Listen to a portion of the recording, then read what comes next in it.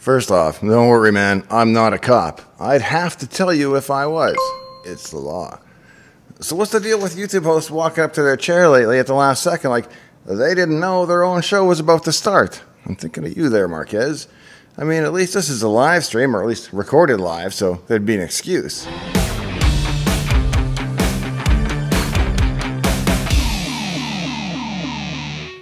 Hey, I'm Dave. Welcome to my shop. Today in Dave's Garage, we'll be taking a look at something seemingly very simple the old on off switch. It seems so easy. It's off, it's on. It's off, it's on. One, zero, one, zero. Sadly, it's not that simple. In applications ranging from elevator buttons to launching a nuclear ICBM, you want to get it perfect every time.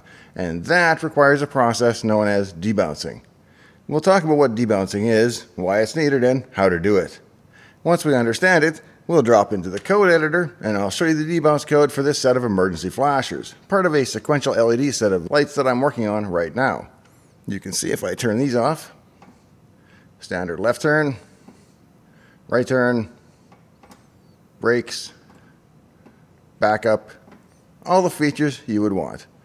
Okay, let's turn off the YMCA mode so we can talk about what it is that we're going to do today, which is we're going to debounce the switch. What does that mean and why is it needed? Well, let's take a very simple switch, a mechanical switch like this one, where when you press it, it's closed and should connect the two wires, posts, you know, whatever goes in one comes out the other, no resistance, they're connected, however you want to look at it. When it's open like this, nothing flows between the two poles. So what's tricky about this? Well, all it is, of course, is two metal things coming together somewhere. But now, if you think about it, imagine this at the level of watching it with an electron microscope in slow motion. What you're going to see is that, first of all, the surface is not uniform at all. It's jagged and it's going to come together somehow in sort of an unpredictable way that might make contact and break contact and make contact and break contact, you know, in nanoseconds even, but it's still going to do it. And even a bigger effect is that when the switch closes, the contact is going to go boom, boom, boom and then settle. It's not going to slam shut one time perfectly.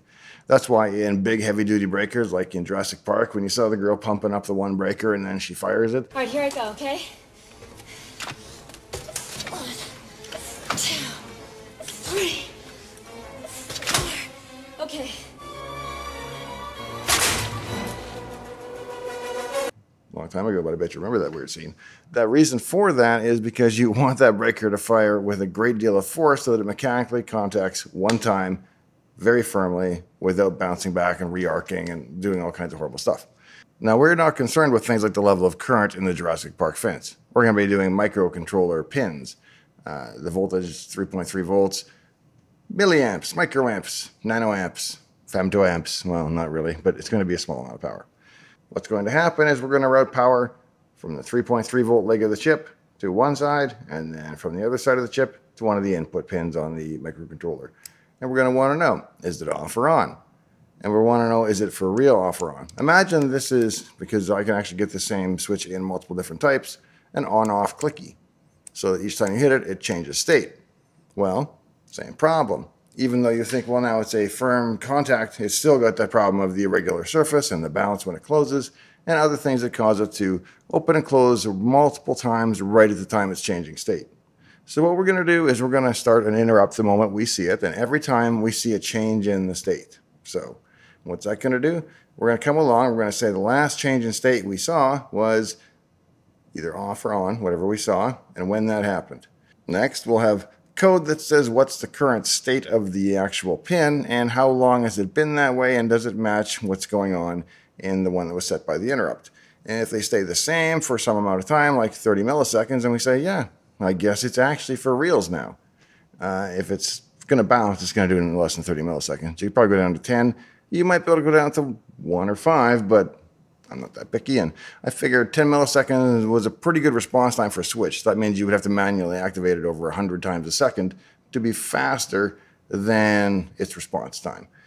Okay, let's drop right into the code editor and have a look.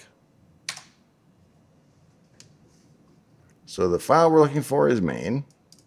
And the function we're going to start with is setup. That's where everything gets initialized and set up for the very first time. It's called once every time the chip starts up before the main loop is called. And the only parts we're concerned about are the input pins. And so this has four input pins, one for the left turn, one for the right turn, one for backup, and one for the emergency flashers. Brake is figured out from the state of the left and right turn pins because it has to work with some really old trailers and stuff like that. The next code of interest is this attach interrupt code. What it's going to do is attach an interrupt handler, in this case named left turn IRQ, to a digital pin so that every time a change occurs, it's going to fire that interrupt. So we attach one for the left turn pin, one for the right turn pin, one for the backup pin, and one for the emergency pin. If you're curious, I'm using pins 36, 37, 38, and 39. Not the ones I would use if I built this circuit today because a lot of those are kind of specialized input pins, but it doesn't really matter if you're not going to need them. So it, it, works, but I'd probably go down to 16, 17, 18, 19, that area. The next piece of interesting code that we need to look at is the lighting event class. There's one of these for braking, there's one for left turn, there's one for right turn, there's one for backup, and there's one for emergency flashers. Each one does roughly the same thing. It tracks the state of its input pin to see when it should be on, but there are specialized cases. For example, the sequential tail light that goes left to right or right to left, it actually completes its animation whenever you let go of the button. So if you're signaling and you turn the signal off, it still fades out. It doesn't just dink, turn off. As another example, brake immediately turns off. It does not animate out or do anything. So each one can be slightly different. They accomplish that different behavior by overriding base functions in the base class, which is lighting event.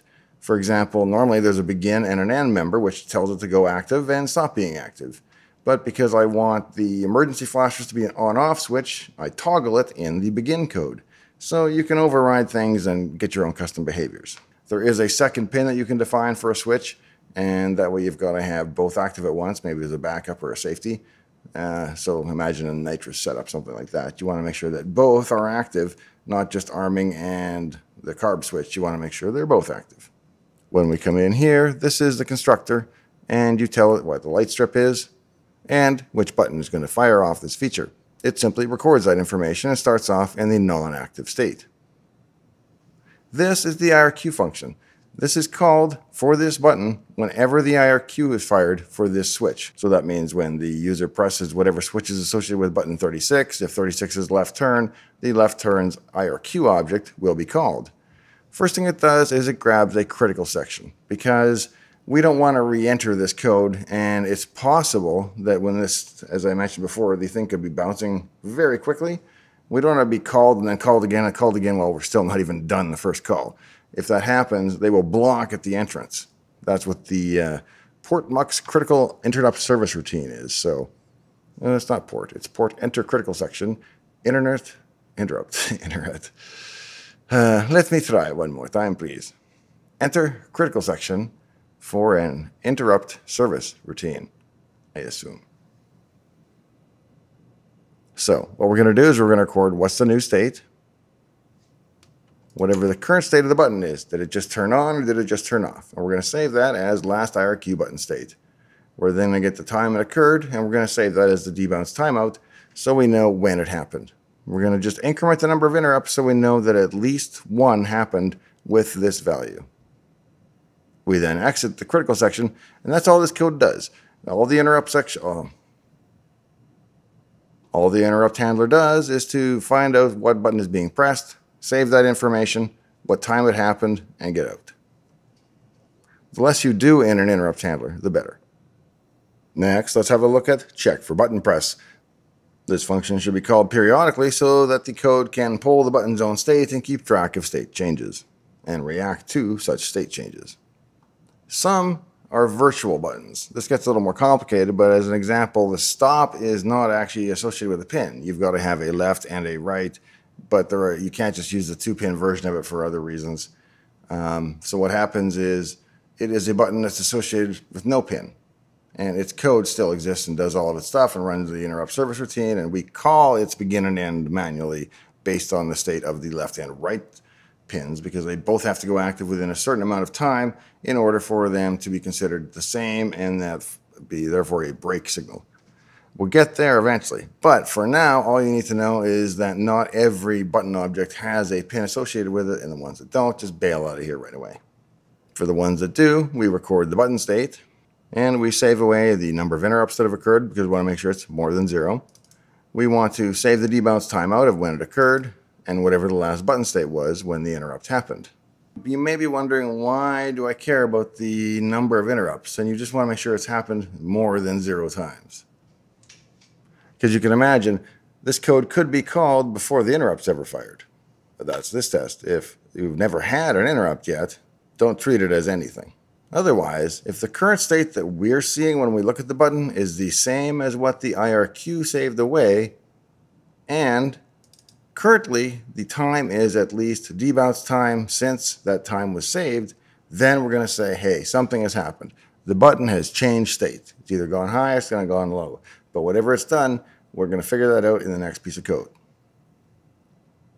Once we fall through into here, we check to see, is this the case where the button is high, being pressed? If so, if there's no other button associated with this, meaning it's not like an arming pin and requires a second button, or if that second button is satisfied, then we call begin. Otherwise, if it was already active, we call end. Why is that? Ah, so this is to make sure that in the cases where the button has gone high, but all the other conditions have not been met, we just call its end function to make sure it's not running. Now, in the other case, where the button isn't high, but in fact the button is low, we check to see, were you already running? And if so, we call your end function. We zero the number of interrupts here so that that code block above won't run until the interrupt handler has incremented at least one time. I could have probably named it bool b has interrupt handler fired and just, you know what? That's not such a bad idea. Let's see if anybody ever looks at this. No, no, they don't. So we're going to say has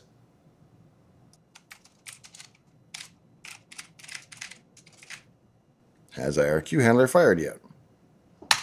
And we're going to make it a bool. And we'll say false.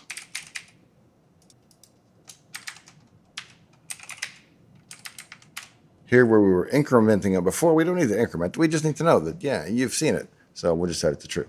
This becomes a Boolean as well. And this becomes false.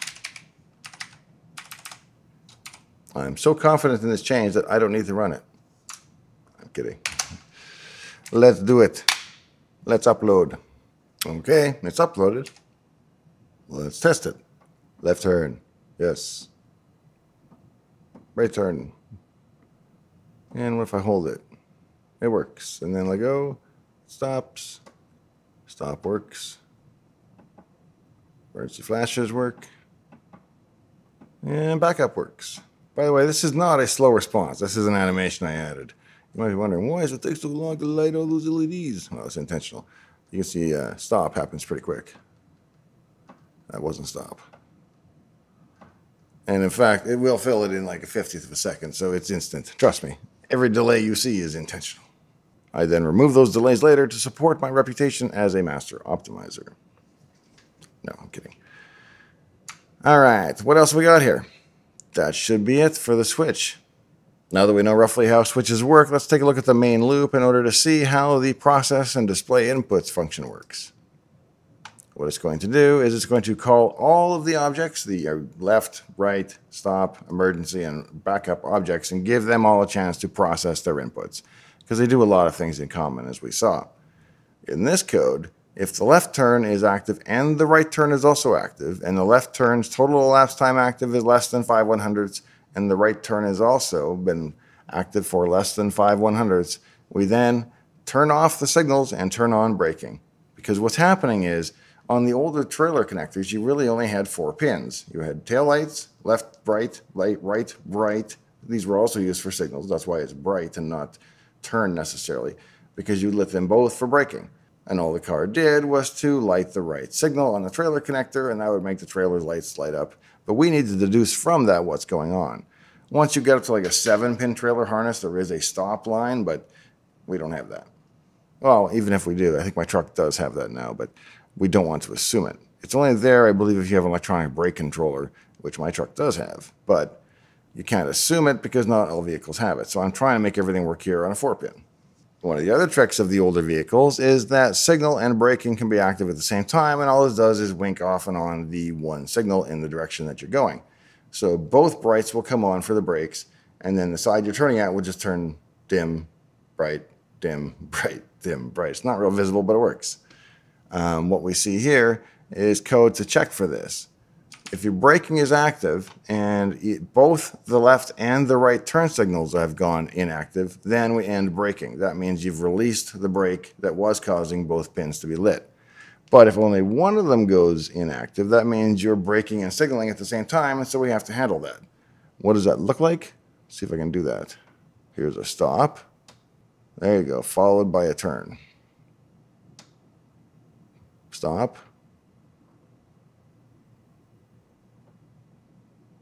Hazards.